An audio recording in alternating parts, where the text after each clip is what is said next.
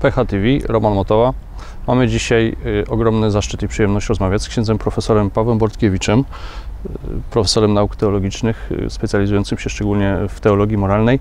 I zacząć chcielibyśmy naszą rozmowę od faktu e, związanego z ogromną nagonką, antykościelną, antyklerykalną, jakiej jesteśmy e, obecnie świadkami. Wielu wierzących może czuć i zapewne czuje się zdezorientowanych i e, wstrząśniętych, e, zarówno z jednej strony może nie tyle rozmiarami tej nagonki, ale oddźwiękiem, e, z jakim ona e, się spotyka, to znaczy podatnością antykościelnej propagandy wśród Polaków. E, Jak ksiądz profesor przyjmuje e, tę sytuację?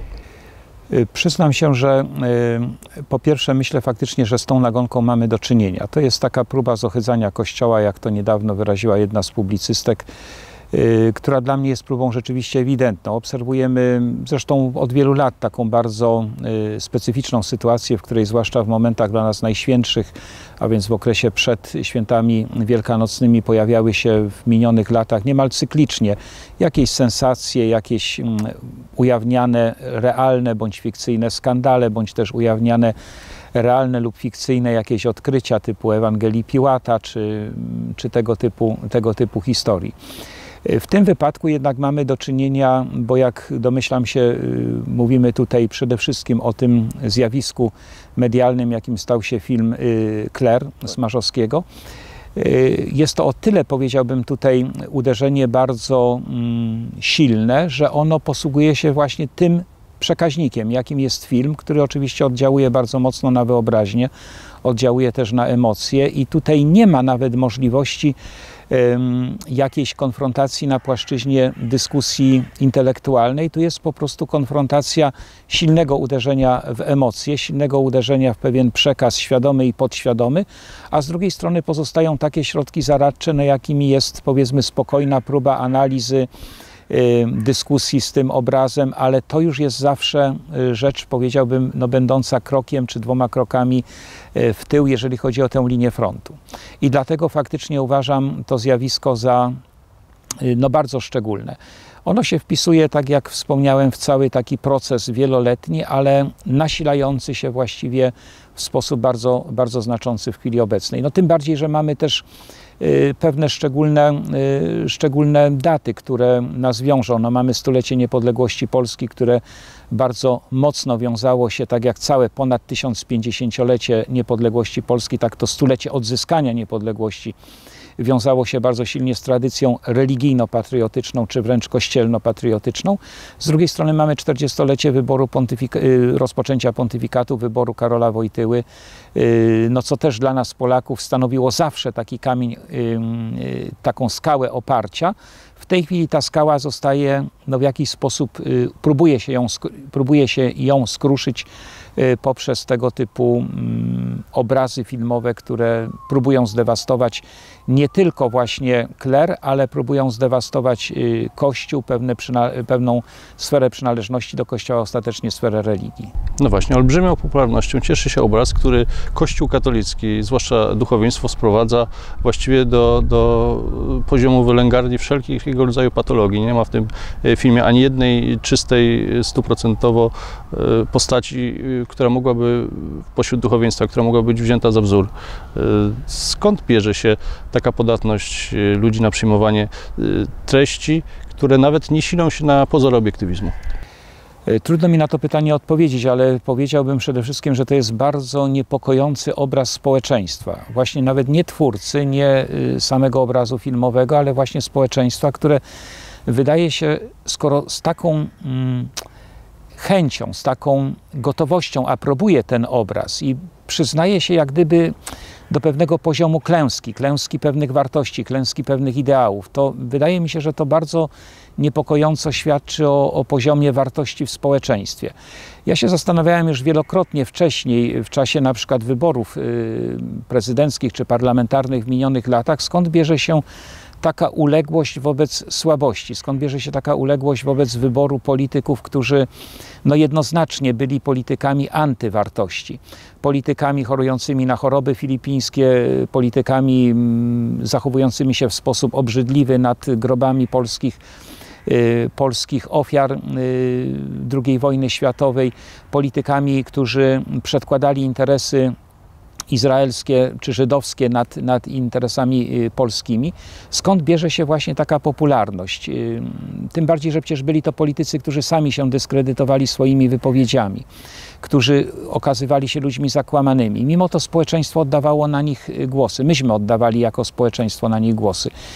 I to budziło we mnie mm, no, takie dziwne, y, dziwne refleksje. Znaczy dziwne w tym sensie, że po prostu nie potrafię ich sobie wyjaśnić, ale czułem taki niepokój, jak gdyby był to taki wyraz przerzucania własnych y, rozbić, własnych porażek moralnych, własnego, własnej erozji swojego osobistego świata wartości na tego właśnie polityka.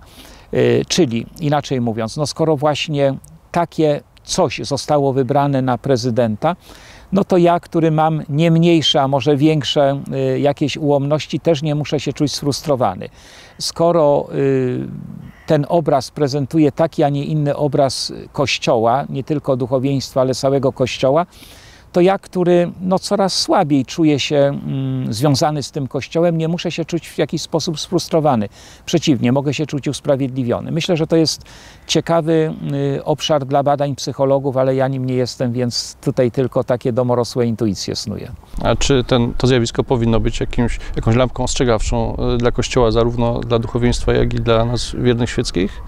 Zdecydowanie tak, bo y, jakkolwiek byśmy na to nie patrzyli, to y, ten obraz y, odsłaniając, czy realne, czy, czy urojone, ale jednak odsłaniając pewne rysy na obrazie Kościoła, przypomina nam, że mówiąc o Kościele, mówimy, jak to często dzisiaj powtarzamy, o świętym Kościele grzesznych ludzi i ta świętość Kościoła nie może nas uspokajać co do tematu walki z naszą grzesznością. A więc krótko mówiąc, jestem głęboko przekonany, że ten obraz odsłaniając karykaturalny obraz Kościoła, ale wcale nie karykaturalne, tylko realne zachowania ludzi aprobujących ten obraz, powinien nam mocno dać do myślenia i powinien po prostu przede wszystkim zmobilizować do tego, abyśmy na poziomie zarówno wiernych świeckich, jak i osób duchownych i zakonnych no, dokonali procesu nawrócenia i procesu ukierunkowania na dążenie do świętości. No właśnie, po stronie y, mediów katolickich, opinii katolickich szeroko rozumianej w Polsce pojawia się y, bardzo często taka postawa, że wszelkiego rodzaju publikacje dotyczące nadużyć w kościele, czy to obyczajowych, czy innego rodzaju, są same w sobie atakiem na ten kościół. E, tymczasem e, no, mamy podstawy przypuszczać, że, że część tych e, oskarżeń jest jakby wiarygodna. I spoglądamy tu w stronę krajów zachodnich, które w których Kościół katolicki niekiedy mm, nie odkrywał od razu i nie postępował, jak się wydaje, z oceny dzisiejszej, z dzisiejszej perspektywy, nie, nie kładł kresu tym sytuacjom wtedy, kiedy należało to zrobić. I teraz płaci za to bardzo wysoką cenę. Na pewno tak, to jest ogromna, ogromna przestroga. Musimy y, mieć świadomość tego, że y, no, te, tych spraw nie da się y, zamieść pod dywan, dywan, mówiąc kolokwialnie. To znaczy, bo to nie są sprawy do zamiecenia pod dywan, to są realne grzechy.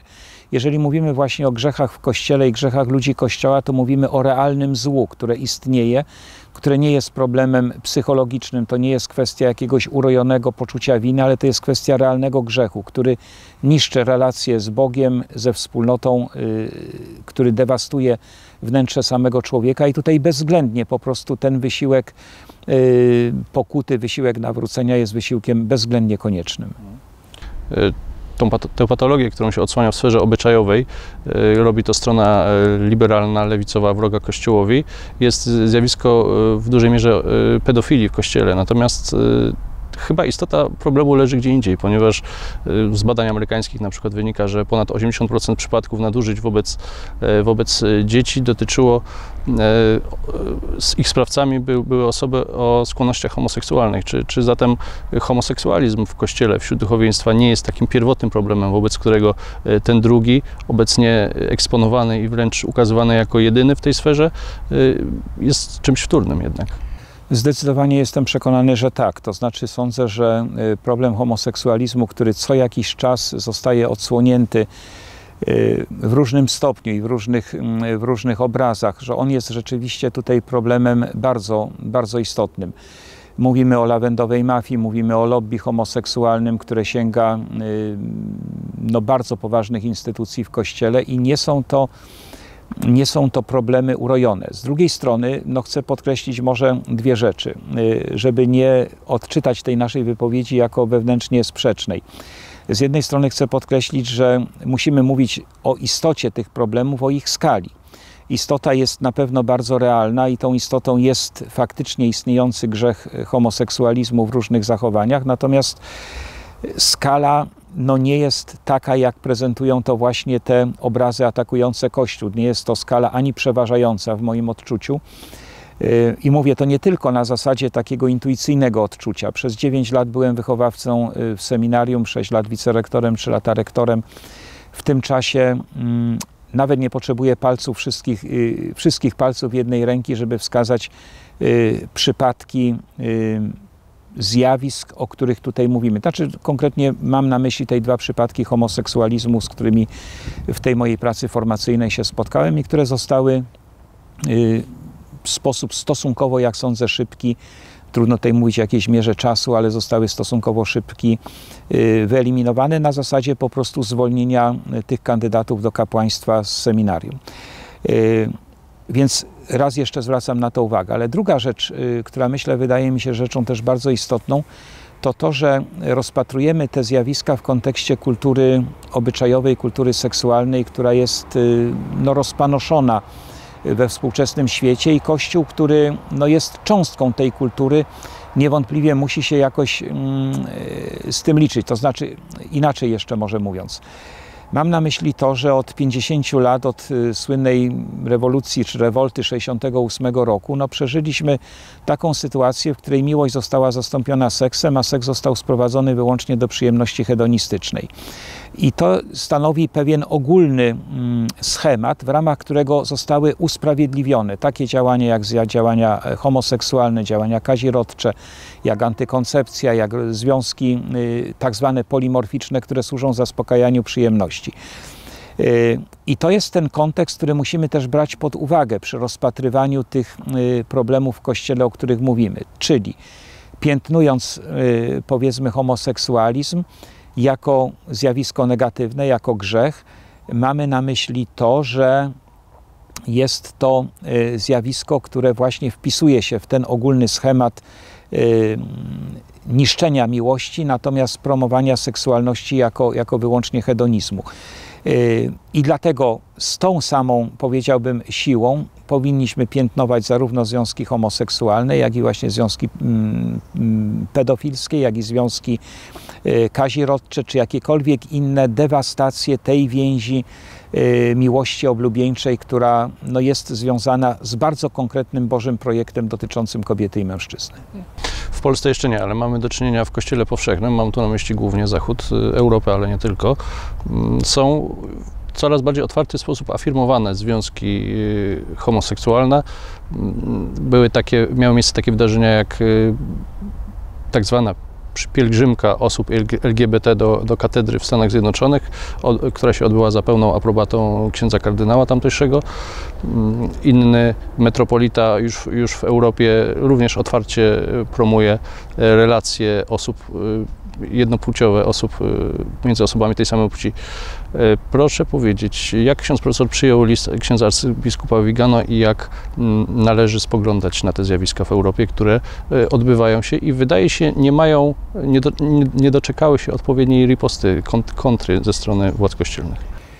No właśnie to jest zjawisko, które przyznam się szczerze, że bardzo mnie niepokoi. Zwłaszcza, że raz jeszcze wrócę do tego kontekstu. Mamy 50-lecie Humane Vitae, mamy 50-lecie nakreślenia bardzo konkretnej wizji zarówno miłości małżeńskiej, ale też katolickiej etyki seksualnej, bo tak możemy encyklikę Humane Vitae odczytywać. Mamy więc bardzo konkretną okazję do tego, żeby potwierdzić raz jeszcze to, co było wyrażone przez Pawła VI, co zostało później też wzbogacone przez teologię ciała Jana Pawła II. Tymczasem mamy w tym momencie jakieś zawieszenie głosu Kościoła. Właśnie w tym momencie, w którym potrzebne jest bardzo wyraźne określenie tych podstaw y, zarówno antropologicznych, jak i y, moralnych ludzkiej płciowości. i podporządkowania tej płciowości osobowej, integralnej miłości, y, miłości ludzkiej. Tymczasem mamy tutaj swoiste zawieszenie. List arcybiskupa Vigano, na ile y, oczywiście tutaj dysponuję y, wiedzą na ten temat, to znaczy no, znam obydwa, obydwa listy, znam też reakcję Watykanu, on wybrzmiewa dla mnie bardzo dramatycznie. Przy czym nie jest to ani moim zdaniem głos sfrustrowanego człowieka, jak próbuje się niekiedy pokazać, nie jest to głos y, kurialisty, który jest y, zniesmaczony powiedzmy brakiem jakiegoś awansu. Ja odbieram ten list jako list człowieka autentycznie zatroskanego o, o Kościół. Y, o Kościół, o jego ortodoksję, o jego wierność, o o to, żeby po prostu ten Kościół był wiarygodny. Wiadomo, że dzisiaj mm, no, żyjemy właśnie w czasach, w których mm, to, co zostaje mówione w ukryciu, zostaje wydobyte na dachy poprzez, mm, poprzez różnego rodzaju informatory medialne, a więc tutaj chociażby z tego względu nie ma y, żadnych szans, jakakolwiek y, półprawda, jakiekolwiek przemilczanie y, faktów, zjawisk czy, y, czy jakichś zdarzeń arcybiskup Vigano domaga się wyjaśnienia. To nie jest akt oskarżenia, jak to odbieram, ale to jest akt domagający się wyjaśnienia, podobnie jak wcześniej w przypadku dubiów, y, które też były traktowane bardzo różnie, jako atak na papieża, jako mm, no, pewne czyny niestosowne. To była przecież prośba o ujaśnienie. Y, problemem obecnym y, Urzędu Kościoła, Urzędu Nauczycielskiego, w moim osobistym odczuciu jest y, duża niejednoznaczność. Jest po prostu zawieszenie pewnego marginesu, rozpięcie pewnego marginesu interpretacji, który dozwala na bardzo różne interpretacje. I w tym obszarze, y, powiedziałbym, po stronie papieża Franciszka, moim zdaniem, stają właśnie ludzie typu czterech kardynałów, autorów dubiów, czy właśnie arcybiskupa Vigano, którzy proszą papieża o uściślenie jego zdania, a to uściślenie jest ważne dla nas wiernych. Więc tutaj ja odczytuję ten apel mm, pozytywnie, po prostu pozytywnie. Myślę, że wielu katolików w Polsce właśnie ze względu na to, że media, e, w tym katolickie, bardzo niechętnie, jeżeli już informują e, o takich wydarzeniach, o jakich wcześniej rozmawialiśmy, czy, czyli na przykład otwartej promocji związków e, jednopłciowych przez hierarchów innych duchownych kościoła, czy też, czy też innego rodzaju nadużycia, Mm, I wydawało się dla wielu ludzi na pewno to wręcz nieprawdopodobne. Oskarżenia, oskarżenia powiedzmy, mm, fakty, które podał ksiądz arcybiskup Wigano, domagające się zweryfikowania. E, jak roztropny katolik powinien się w tej sytuacji zachować? Czy, czy na przykład pisząc, mówiąc głośno o tym, przyczyniamy się do, do zaszkodzenia Kościołowi i nie powinniśmy o takich sprawach otwarcie rozmawiać? Czy, czy właśnie y, w, w duchu miłości Kościoła i w tym duchu, w który ksiądz profesor odczytuje w liście księdza arcybiskupa, y, jednak mówić o tym otwarcie?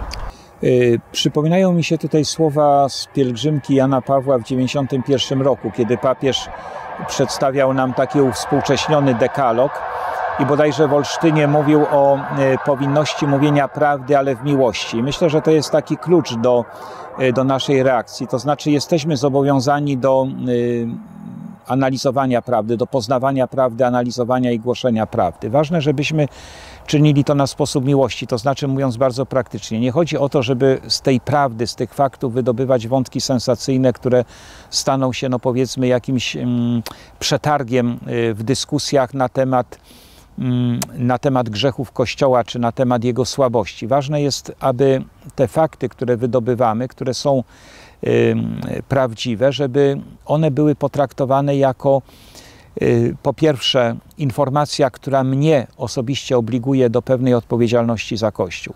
Nawet jeżeli te sprawy mnie bezpośrednio nie dotyczą, ale one dotyczą mnie w tym znaczeniu, że jako członek wspólnoty Kościoła powinienem na przykład no, y, więcej modlić się i to mówię nie, y, nie tak górnolotnie i okrągło, żeby zamknąć to takim stwierdzeniem, ale po prostu jestem głęboko przekonany, że to są fakty, które apelują o naszą modlitwę. Właśnie modlitwę wzajemną za siebie, modlitwę za y, biskupów, za kardynałów, za, za papieża przede wszystkim. To jest bardzo, bardzo ważny element. Jeżeli natomiast też mówimy, dyskutujemy w takich dyskusjach medialnych, publicznych, politycznych o tych sprawach, to sądzę, że też tutaj ten element związku prawdy i miłości jest niezbędny. W tym sensie, że No właśnie, z jednej strony możemy pokazywać, używając tych, wydobywając te argumenty, wydobywając te fakty, że Kościół nie boi się prawdy. To jest ważny element y, w różnych dzisiejszych dyskusjach. Z drugiej strony, że Kościół stosuje te same normy, że tak jak właśnie y, potępia y, zachowania seksualne poza Kościołem, tak samo tym bardziej y, krytycznie odnosi się do tych zachowań, do tych zachowań y, wewnątrz swoich y, szeregów. I wreszcie, co jest może najważniejsze, że Kościół tę krytykę opiera nie na zasadzie jakiejś intuicyjnej czy jakichś odczuć estetycznych, ale opiera ją na zasadzie prawa, prawa moralnego, które jest niezmienne. I tutaj znowu przypominają mi się słowa Jana Pawła z Veritatis Splendor, który gdzieś napisał pod koniec mniej więcej tej encykliki, że obojętnie czy ktoś jest królem czy ostatnim nędzarzem na tej ziemi, obowiązują go tak samo normy moralne. I myślę, że to jest przesłanie, które z tej dyskusji też może Kościół wyciągać i które może oferować światu. Y, Nasze oceny, obojętnie czy zewnętrzne, czy wewnętrzne, budujemy na tym samym obiektywnym prawie moralnym, zbudowanym na prawie naturalnym, które pozostaje absolutne, powszechne, niezmienne i które stanowi ocenę do, y, narzędzie do oceny rzeczywistości tego świata. Czy sposób, w jaki Kościół katolicki podejdzie do tych spraw, w jaki sposób je rozstrzygnie, e, ma znaczące, e, będzie bardzo znaczące dla jego przyszłości i postrzegania wśród na przykład młodych ludzi? Myślę, że zdecydowanie tak, bo to jest problem wiarygodności. To nie jest tylko problem y, imażu czy imidżu Kościoła, ale to jest problem jego wiarygodności, problem o wiele głębszy. Y, Sądzę, że y, to jest właśnie pewien, pewien moment. Nie chcę przesadzać tutaj z jakimś patosem, nie chcę mówić o tym, że to jest moment zwrotny czy, czy, mm, czy jakiś zwrotnicowy, ale, ale to jest moment na pewno bardzo istotny, który, do którego musimy podejść z ogromną roztropnością. To znaczy, na pewno w moim przekonaniu, osobistym, głębokim przekonaniu, nie można udawać, że tematu nie ma. Y, Należy ten temat podejmować zarazem w sposób bardzo wyważony, a więc nie na sposób sensacyjny, ale na sposób taki, który może uczynić y, z tego dramatycznego, kryzysowego momentu uczynić jakąś wartość. Y, I pamiętać o tym, że służy to przede wszystkim uwiarygodnieniu wizerunku Kościoła, świętego Kościoła grzesznych ludzi. Bardzo księdzu profesorowi dziękuję za rozmowę. Dziękuję bardzo serdecznie.